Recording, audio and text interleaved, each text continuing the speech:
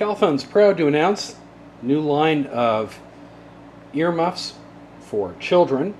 Since the world can be a loud place in general, sometimes specifically in the classroom, there may be instances where students need to block out as much external noise as possible so they can focus on the task at hand.